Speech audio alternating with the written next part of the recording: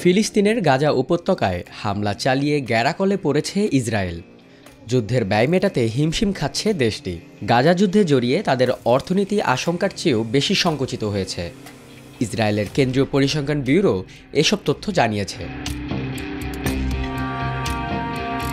গত বছরের শেষ প্রান্তিকের হিসাবের ভিত্তিতে যুদ্ধের কারণে ইসরায়েলের জিডিপি কমেছে প্রায় উনিশ শতাংশ, যা শুধু শেষ প্রান্তিকেই কমেছে পাঁচ শতাংশ। পরিসংখ্যান ব্যুরো বলছে, গত সাত অক্টোবর শুরু হওয়া যুদ্ধের সরাসরি প্রভাব পড়েছে ইসরায়েলের জিডিপিতে। ফিলিস্তিনের স্বাধীনতাকামী গোষ্ঠী হামাসের হামলায় ইসরায়েলে প্রায় বারোশো জনের প্রাণহানি হয়েছে। ইসরায়েলি সেনাদের হামলায় ফিলিস্তিনের গাজা উপত্যকায় নারী ও শিশুসহ প্রায় উনত্রিশ হাজার মানুষ মারা গেছে।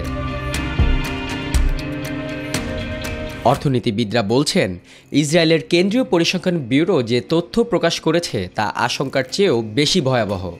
ব্লুমবার্গের এক প্রতিবেদনে বলা হয়েছিল, যুদ্ধের কারণে ইসরায়েলের জিডিপি দশ দশমিক পাঁচ শতাংশ কমে যেতে পারে। পরিসংখ্যান ব্যুরো বলছে, যুদ্ধের কারণে ইসরায়েলের বাসিন্দারা খরচ কমিয়ে দিয়েছে।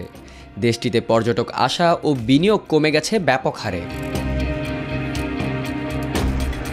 প্রতিষ্ঠানটি আরও বলছে, যুদ্ধের কারণে ইসরায়েলে গত বছর বেসরকারি খাতে খরচ কমেছে ছাব্বিশ দশমিক তিন শতাংশ, রপ্তানি কমেছে আঠারো দশমিক তিন শতাংশ।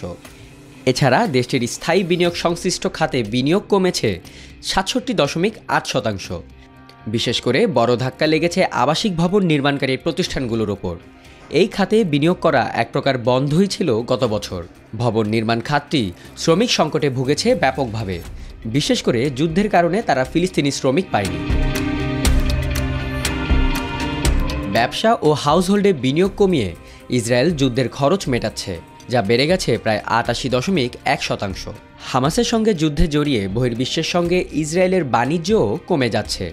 ইরান সমর্থিত হুতি বিদ্রোহীরা লোহিত সাগরে ইসরায়েলের কার্গো জাহাজ লক্ষ্য করে হামলা চালাচ্ছে। মিশরের president Abdel Fattah al Sisi বলেছেন যুদ্ধের কারণে এবছর চল্লিশ থেকে পঞ্চাশ শতাংশ আয় কমে গেছে।